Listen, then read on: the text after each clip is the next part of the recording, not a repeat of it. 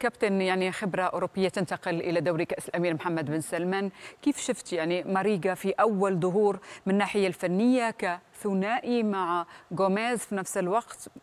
مبدئيا كيف الفكرة؟ أنا أعتقد أنه صعب الاثنين يلعبون مع بعض جوميز مع ماريجا في نفس المكان هذا طبعا يتوقف على كيف بيقدر جارديم مدرب الهلال يوظف الاثنين في بعض المباريات. لكن أغلب المباريات أتوقع أن يكون واحد من موجود أو جوميز أو ماريجا في خط المقدمة. اللاعب عنده إمكانيات هداف في ال box متحرك بشكل جيد ياخذ مواقع جيدة في خط 18 لتسجيل الأهداف يسجل بكلتا الرجلين ويسجل بالراس. فهذه إمكانيات لاعب متواجد يعني 72 هدف مع بورتو أنا أعتقد من اللعيبة الجيدين. لكن يبقى التوظيف. كيف يقدر مدرب الهلال يوظف الاثنين مع بعض؟ بالتأكيد صفقة انتقال حر لنجم مواليد يعني التسعينات أستاذ عبد العزيز. يعني بتشوفها صفقة ناجحة؟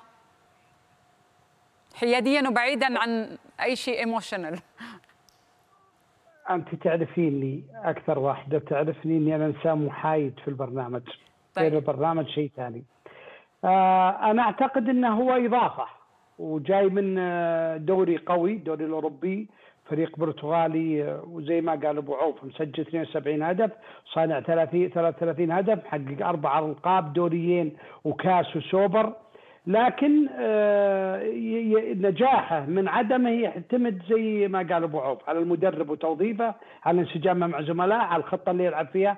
أنا أعتقد إنه إذا نجح الهلال في تسجيل بيرا اللاعب رقم عشرة إنه لازم يستغني. المدرب يا عن موسى يا عن قميز لابد.